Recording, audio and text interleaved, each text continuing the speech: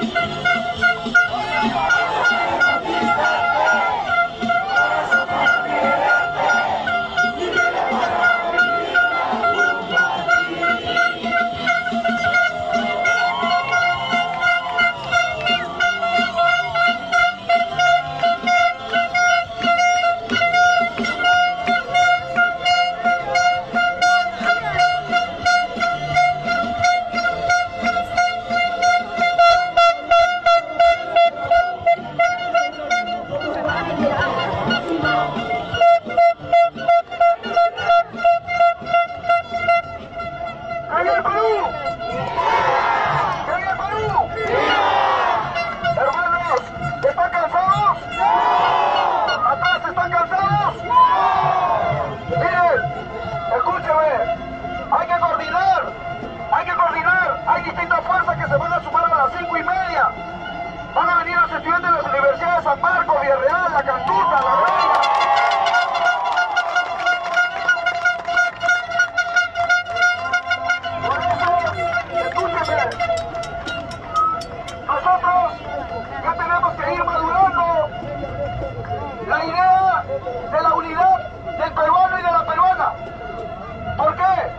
porque la prensa no nos puede dirigir tampoco.